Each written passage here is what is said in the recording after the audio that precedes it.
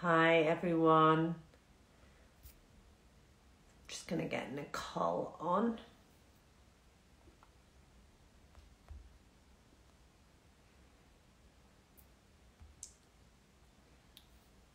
Hi, Joe. Hi, Karen. Hi, hi, hi. Hi. Did it, I hope it went well at the weekend, Joe. Hi, Julie. Hi, hi. Hi, darling. Hi, Nicole. Good morning. Good morning. So what, what, what time is it for you at the moment? 6 a.m., my dear. Oh my goodness. Oh, you're a good egg, aren't you? And you always look so glam. Put the makeup on. Oh, you're so sweet. It's just some lipstick because I feel like I'm, uh, you know, a little, need to wake up and look a little fresh. Ah, so where are we starting today? I know we've had some questions, and it always makes me laugh because you say we've got these amazing questions, but I've removed them so that you can't see them because I actually much prefer to channel and connect and see what comes through when you read them to me. So yeah. I don't know where you want to start today. I'll, I'll hand it over to you, and then we'll get cracking when you're ready. Yeah, we we have a lot of questions. So okay. just know that if you did send a question and for some reason we didn't get to it, I promise you I save it all and we'll get to it next week, but I, I think we'll be okay. Are you doing the school run?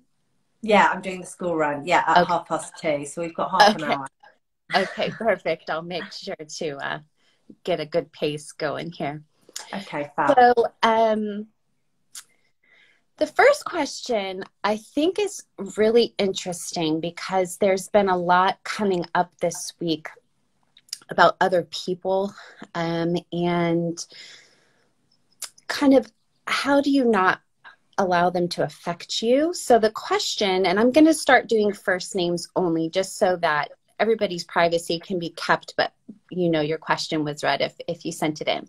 So this one is from Laura. Mm-hmm. How do you stay in your own lane when others close to you are having really difficult times?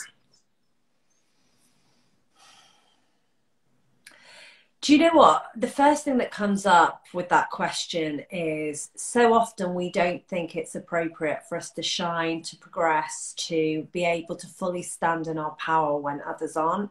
And sometimes we find ourselves holding a part of us back or keeping ourselves small and not allowing ourselves to fully embrace all that's trying to flow through for us because we're concerned about what other people um, are going through we can have a great capacity to hold space for other people and have empathy without it becoming something that we absorb.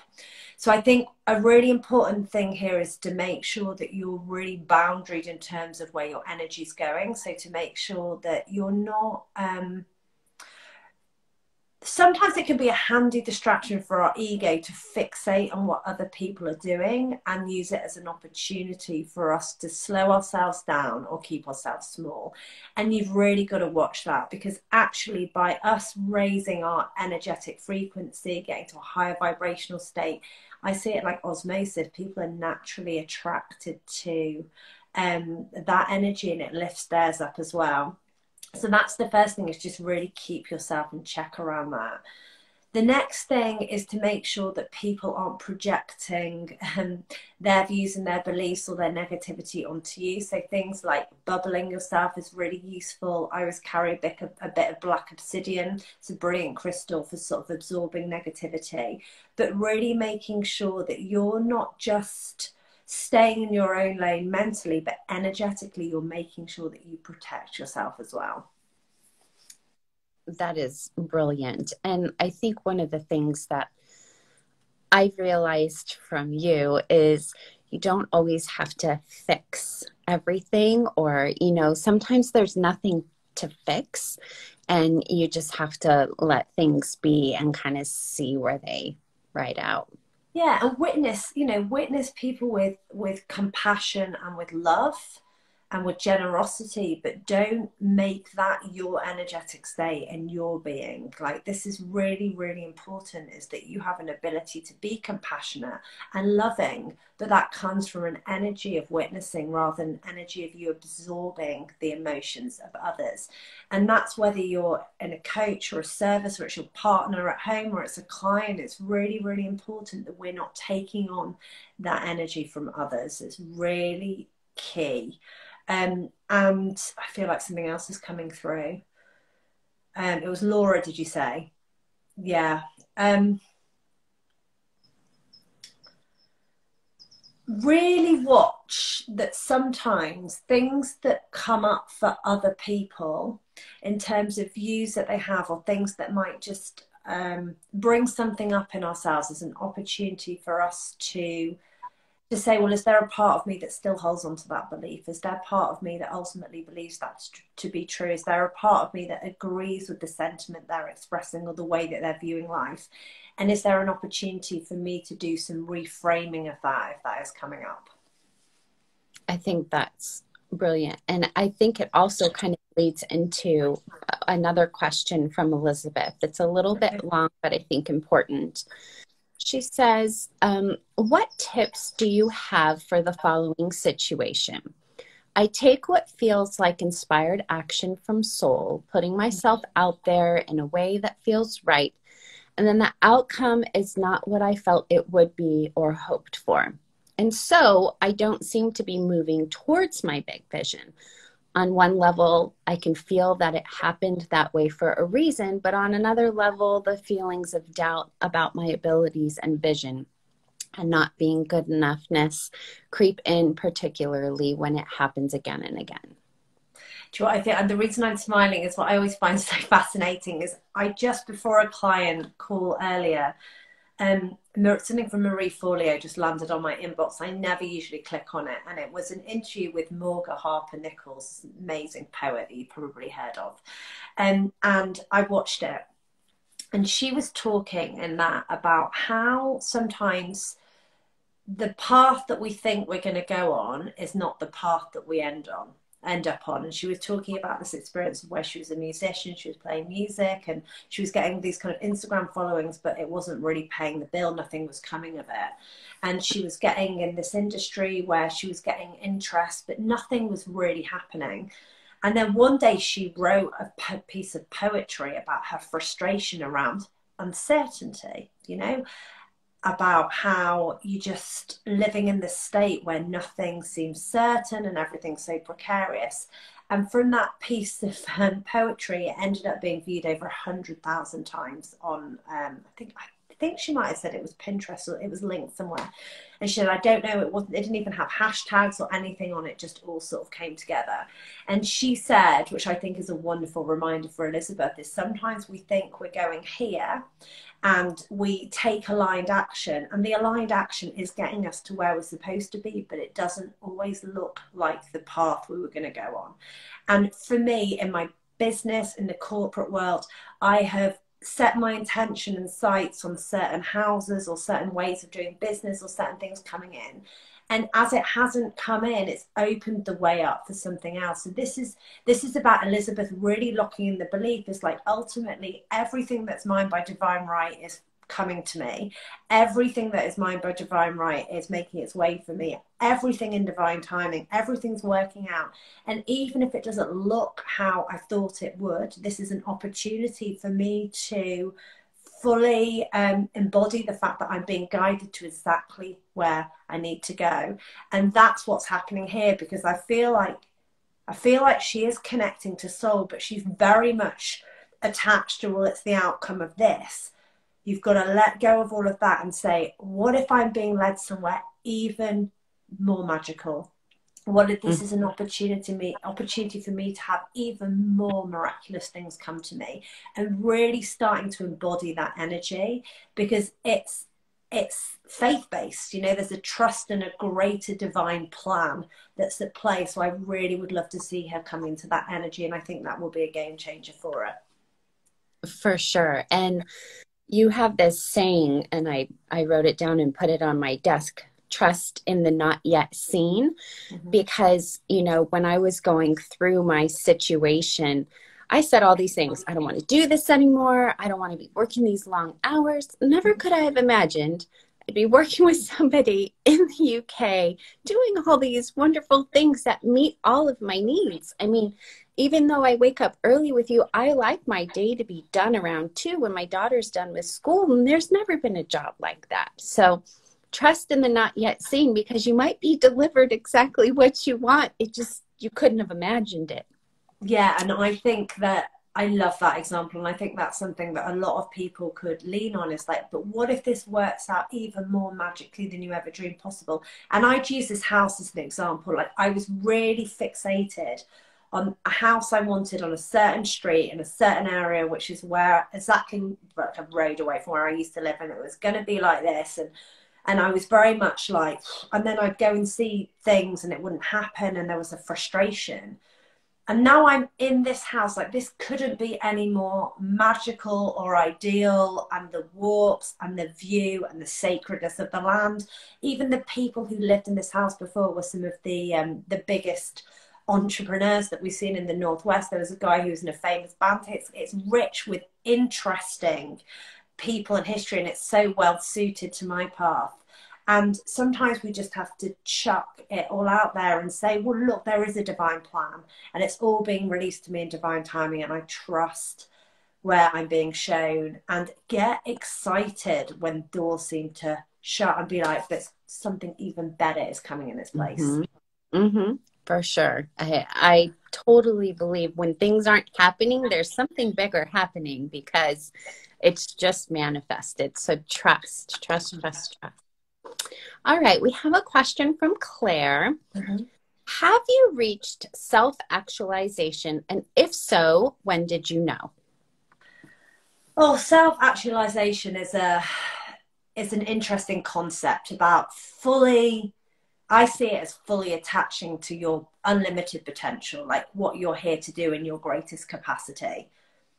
For me, I actually feel like it's been more of a, a gradual unfolding. I think there's been pivotal moments that have come in where it's like, yeah, I'm here to do this work. Yes, I'm a natural healer. Or yes, I'm here to lead from the feminine. Or yes, I'm here to help people reconnect to soul from their experience. But I feel like I'm consistently opening up to new levels of potential and unlimited possibility because we're confined by what we can see, what we believe to be possible. And the more that I play with the parameters of my energy, my beliefs, of the way that I think things get to be on a on a subconscious, on a on a conscious, and I guess a super conscious level as well, the more that I am opening up to the scale of things that are possible and available for me. So I don't see it as like a, yeah, I'm done, that's it, I've kind of locked into where I want to be and that's it. I see that as ever, ever unfolding. And I think that's a really exciting concept for all of us. The most important thing is like, are you making space to connect to that pure potentiality within you? That unlimited opportunity, that ability to be connected to something so powerful and so unlimited that anything can come in for you. And that's that's what I'm doing and prioritizing on a daily basis. It's it's kind of changed everything for me really. And it's yeah. not always easy. It's not always easy, you know. I'm going through a process at the moment of really doing deep womb work and embodiment work and heart opening work and sound healing and really felt the call to work with sound understanding about the principles of sound and vibration as energy and frequency and um God, I felt like I wrote a post on this earlier. Like I felt like I'd been kind of cracked open. Like I felt like all this old stuff was sort of coming out of me. But the interesting thing is, is as that old, denser, darker stuff starts shifting, I start expanding and opening up into the next level of my potential as a human being, as an energetic being, as a spiritual being. And that's what excites me so much about doing this work. It's like, what else am I going to uncover and open up to? And it was interesting because I was doing something the other day with sound and I heard the sound, I heard this like frequency that was being played, and spirit kind of came through and said, "That's like the um, that's the frequency of money. Like that's what money sounds like." It was the, and I could feel like the vibration in my body sort of shifting and changing to the frequency of money and abundance. So I'm really starting to play with some of these concepts around sound and what they relate to. Um, emotionally for me and what resonates and how it changes the frequency within my body. And as I do that, I'm opening up again and again to the next level. So I'm really excited. Um, I'm slightly unnerved by that at the moment, but mainly mainly excited. Wow. I'm like, okay, tell me more. I've never heard about it. well, I don't know. I'm still playing with it at the moment, so I will. I will share with you as it comes through it leads perfectly into the next question. It's oh, really? amazing how the universe just kind of makes everything come together. So, the next question, and I'm so sorry if I don't pronounce your name right, I would say Monia, but it's Monia, maybe? I'm not really mm-hmm. sure. Okay. Um, so, one of the questions is related to something that I mentioned last week and I'm prepared with some stuff, but I'm happy for you to answer it as well.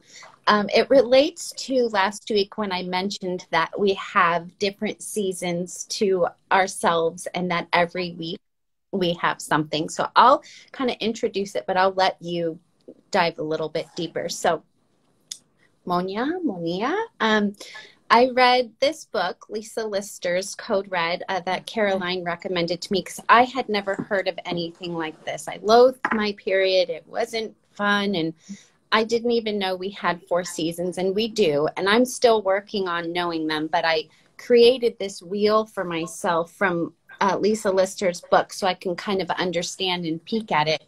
But basically, um, when you are in pre ovulation, that is considered spring. Um, it's kind of when you get stuff done. Um, ovulation is summer. Um, you really believe you can do anything. And there's a lot more to this. And I would love, Caroline, for you to chime in. And then, um, I'm sorry, did I say ovulation? Ovulation is summer. Uh, Pre ovulation is fall. And that is kind of when you're a little bit more charming. Pre, but pre-menstruation, pre-menstruation, you mean? Yeah, pre-menstruation. Yeah. Did I, am I saying this wrong? Gosh, I must be talking funny. Um, pre-menstruation is fall, and then so you're kind of charming and but but dangerous because you're you're good. And then menstruation is your winter, um, and that's when you kind of go a little bit more quiet. So feel free to talk more because I'm still learning.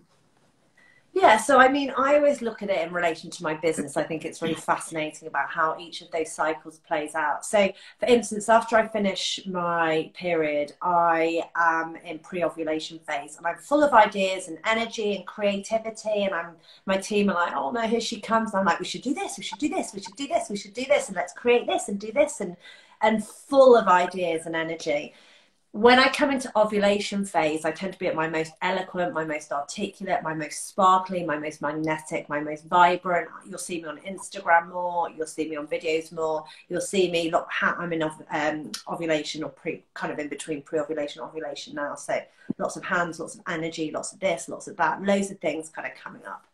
Then I come into pre-menstruation the third week, and the energy there, I tend to be very, very aware of boundaries at this point. So tend to be very much um, uh, not taking shit, um, making sure that I am um, taking time for myself, a bit more reflective about what is and isn't working for me in my business, a bit more withdrawn, a bit more observational, a bit more quieter, a bit more blunt in the way that I deliver things. And then we've got the menstruation phase that Lisa Lister talks about, which is actually where you're very psychically connected, where I um, this is a Lisa Lister phrase about literally bleeding on making decisions. So, kind of making big decisions. I wait for my period, um, making sure that I am really tuned into what's next as I go into that next cycle of energy. So, that's the way that I see the four the full stage of my business and I and I work with them. So I make sure that my diary can be more full and more speaking events are planned at the first couple of weeks of my cycle and then the third week I sort of go into well let's look at boundaries and what isn't working and then the fourth one it's like well I make some big decisions and and that really works well for me. That's great. I know. I'm learning about it too. And I think the part that I love the most, because I'm learning how to integrate it, is um, understanding that because I have seasons, I don't I don't get so upset at myself anymore for feeling differently each week. Like, what's wrong with me? Am I on an emotional roller coaster? It's not like that anymore. It's it's normal and natural. So I love that part. And look, you know, we're cyclical beings, and what we tend to to because of the way that we've been conditioned is we tend to just give credence and honor the times that we're full of um, momentum and busyness and movement and getting things done and high energy it has just as much value to be reflective and to be and to be still and to be connected. Of course, it does because of the ability to make decisions from a deeply grounded place. So we've got to use both together the dark and the light, the being and the doing. We've got to use all of it. You know, it all works so beautifully together, but we embrace all sides of us. Uh, you know, I, it has just as much beauty and magic and power when I am in a more of the darkness and working through things that are coming up for me and shifting out things that no longer serve me. As well when i'm a hive of you know creative ideas both have real value. And i would encourage everybody to look at that and say well where are they thinking that one's better than the other or prioritizing one or the other or creating stories around it? It's another thing. Do you create stories in your business in your life that when you feel full of energy and uh, optimism and you're doing, that's when you get the rewards and things come in. And if they then really look at that differently and say that it always gets to come in, like the money or the opportunity or the clients or the business, it gets to come in all the time. And my job is just to go and be me, and I'm consistently supported on that journey. And that will really, really help you have a much more um, balanced relationship with it. Yeah, for sure. For sure. Okay, so her second part to her question is about journaling. Um, she's very reluctant to put her most intimate thoughts down on paper for fear that somebody kind of might find it and read it. So it, she feels like it would be a really vulnerable action for her. And so she wondered if, she, if it had ever crossed your mind when you're journaling how to deal with that or if it's ever been a fear. It's funny she says that. I. Um, I did occur to me the other day, you know, if somebody somebody read read my journal because I left it sort of open on the table. But uh, let me just feel into this. It feels like something a bit deeper going on for her. I do wonder whether there's a reticence for her to fully see herself for all that she is and to love all parts of herself. And I think that we know that if I was to pour out the most intimate parts of me to anybody who loved me, um, then I would still be loved unconditionally. But I do wonder if there's an energy of of will I love myself with conditions or accept myself with conditions? I'd really, and you know what I'm like, I always kind of take it a couple of layers deeper, but I really would like her to look at that. It's like, well, actually what do I worry about the way that people would react if they did read that? Um, and is there part of me that reacts to that part of my psyche and my being? Is there a part of me that is resisting looking at the darker parts of me or the more, more vulnerable parts of me? And of course, you know, if it's a very real thing that's bothering you and stopping you, there's other ways that you can do things. You can voice note, you can go out in nature and talk out loud, you can talk in your head, you can do it through prayer quietly or meditation but it feels to me an opportunity to explore at a deeper level whether there's a part of you that won't love all those bits of you that are um, are keen to be expressed and heard that somehow they don't feel appropriate or lovable because they are.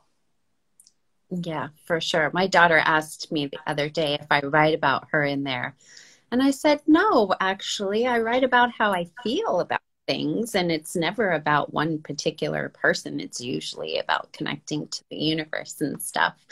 And i just told her i said it's my most intimate thoughts with myself and i just talked about it. So i mean if she ever read it and saw something in there i would just you know, have a conversation. I actually hope that she does someday if I've ever passed on, because then she will remember, you know, this is what mom was thinking at that time. It's actually a beautiful memory of your whole life. Yeah, yeah, definitely. Okay. So the next question is you seem to have many clients who are coaches themselves. Mm-hmm. What do you feel are some of the reasons so many questions questions so many coaches seek you out for professional guidance? um, I think that we're often drawn to people who inspire us to do our business or our life in a certain way. And I would hope that that's something that um, I embody for a lot of coaches out there is a different way of coaching. You know, I got a, an amazing message from somebody on Instagram the other day who, who I hadn't um, come across before saying it was really refreshing to her to see it, a coach that was really led by soul and kind of wasn't using more of the sort of aggressive sales techniques. And I think that um, that's probably a reason as a lot of people are inspired by um, somebody who has gone on to help people but uses and this is the biggest thing i see uses both the practical and the spiritual. I often feel like people are drawn to me because they like the balance of the two. They like the fact i'm really spiritually connected and also practical. So i think that's probably part of it. But you know i coach many people outside coaches as well. But i think that that's that's the thing for me is I really want to help coaches realize that there's different ways of doing business, there's different ways of doing life, there's different ways of growing their audience, there's different ways of coaching. Like there's so much that you can do. I often talk about this, and you've experienced it, is that you can coach people beyond the traditional models and you can use so many incredible techniques to get a real depth of people. And i think that that's something that i really love to see in the coaches that i work with that they fully claim their way of helping healing guiding transforming people. Um, and we know that from the inner circle. We had a lot of coaches in there and all wonderful in their own ways and all doing different things and it was so wonderful to see them really empowering themselves to do business and coaching and transformation the way that they actually want to, not the way that they're told it has to be.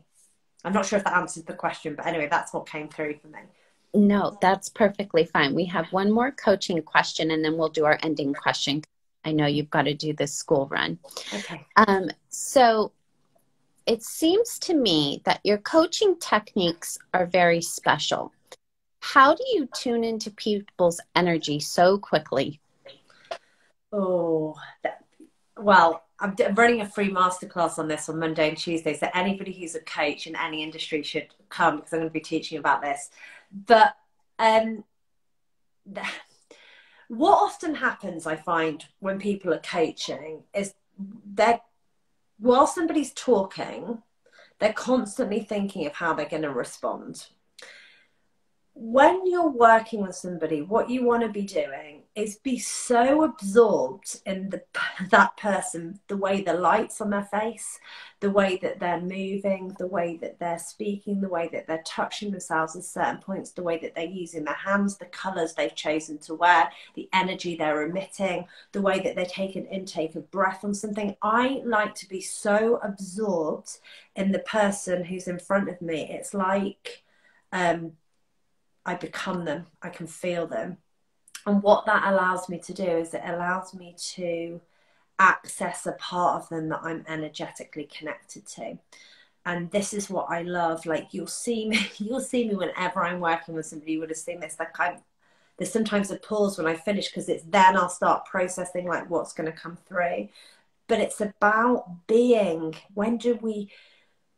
Are you as a coach truly in the energy of that person? Are you truly listening? And watching and observing and allowing your body and your intuition and the messages are coming through to come through for that person? Or are you in your head constantly trying to preempt what you should say next or what would be smart to ask? It's a completely different way of coming at coaching. And this is why people often say to me, my God, like, how do you know? Because you'll get so skilled at it that eventually you'll take on the energetic state of people and you'll be able to go to places in their past and their present and their future and sort of embody it. And then you have such insight into what's coming up for them that you can do the most incredible transformation. I mean, I could talk about this for hours, but that's it, sort of in a nutshell. Well, we will be talking about it for hours in your math in your uh, master class uh, next week, right? Yeah, Monday, Monday and Tuesday. Yeah. Yeah. Oh, I can't wait. I, I'll never forget our first session. Now, mind you, Caroline didn't know anything about me, and I knew nothing about her, but yet the stuff that came through her, my dad came through. It was it was crazy. it was just uh, amazing. Uh, so our final question, I always like to end this way because it keeps keeps us real and and um, keeps your business real. So what has been coming up for you this week, or what would you say has been a common theme in your business or personally? I'm going to go personally this week. So I feel like I'm sort of going into the depths of me over the last week, like really exploring. I guess even just on an energy frequency, it's not even like I'm consciously saying, right, I need to look at this bit. It's like, well, I sort of said to spirit, like, right, anything that's holding me back or needs to be shifted can, I want that to be moved through as I kind of embrace the next phase. And you know, that I'm in the process of writing my book and all the things that want to come through and it's like I've been drawn to all this deep kind of work around sound and movement and and shifting and womb work and it's been oh it's been a bit icky actually like really feeling like I've been a bit uh, through the ringer feeling a bit unwell feeling a bit sick having sort of anxiety and all things sort of coming up but I really realize that that often comes up as I'm sort of making that break into into dawn. Like it's just the darkness is surfacing. So that's what's been coming up for me. I mean, I had a team call earlier, and it's the first thing I said to them. I said, "I'm feeling, I've been feeling a bit off color because I've really been um, allowing what needs to come through, and not." come through and let's try and fix you. It's like, well, I'll come through and I'll feel it and I'll feel it and release it. And that's the way it gets to be um, and it's coming through in my dreams. My subconscious is is activating and shifting things, and very very powerful. So yeah, it's that's what I'm in at the moment. Interesting that you say in your dreams and shifting, because I've been experiencing some interesting things in my dreams as well. So would love to hear more about that maybe next week because I know you need to go do the school run. We did get through all of our questions this week. So Great job. Um, if you have any questions that you'd like to ask for next time, you can either message me or Caroline through Instagram um, or Nicole at caroline-britton.com. Um, keep them coming. They've been amazing. Great so. questions. They're great questions. Thank you so much, as ever. Yes. Gorgeous Love being. Thank you, everybody. I hope Bye. you enjoyed it. I hope you got what you needed today. All right, lots of love. Bye, Nicole. Speak to you soon. Bye.